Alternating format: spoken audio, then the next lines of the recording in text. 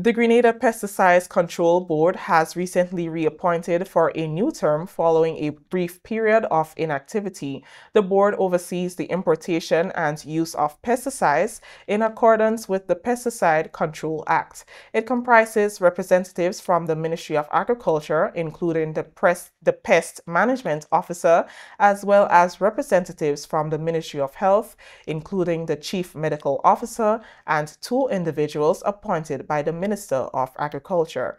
Permanent Secretary in the Ministry of Agriculture, Isaac Bhagwan, acknowledges that the board has faced operational challenges in recent years and that the upcoming task will be significant. He highlights concerns relating to licensing, regulation, and public awareness. Bhagwan emphasizes the need for increased focus on biological control as part of its regulatory responsibilities regarding pesticide issues. What we need to do is to work hand in hand with um, those who import and distribute these chemicals. We are aware, Mr. Ramsey would have done um, a quick visit uh, since he has been here to um, a number of these um, uh, stores that um, import and sell, sell this pesticide. And of course, some observation that, that would have been made was the whole issue of um, repackaging and labeling. Yeah, sometimes um, we, we repackage and we don't have adequate labels and, and the product that we have repackaged. And this is important, you know, so that the farmers would know. Um, and of course, it have to be labeled appropriately because uh, these chemicals are in fact hazardous and some of these chemicals do cause cancer.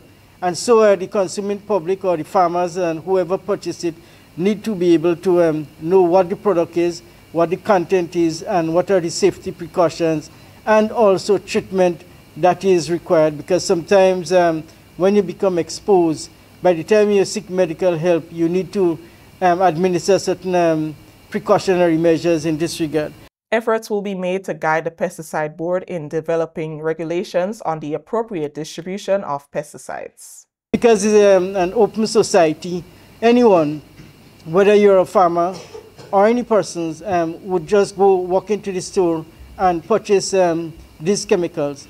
We would have to probably move to the point where um, the, to regulate that um, if the, the, the, the um, uh, persons who are importing and distributing, that they would have to see some kind of um, identification from the farmers. They probably would have to get something from the, the, the extension division to validate that indeed um, the persons are using it for the purpose intended you know, because sometimes some farmers, they, they purchase some of these banned items, which some of them do slip through the system, and um, they use it um, probably um, because they have problem with um, dogs and so, you know, um, just so um, indiscriminately and give it out. So we need to guard against these kind of things and make sure we have these kind of tight regulations and monitoring in place. The Pesticides Control Board is usually appointed to serve a term of two years.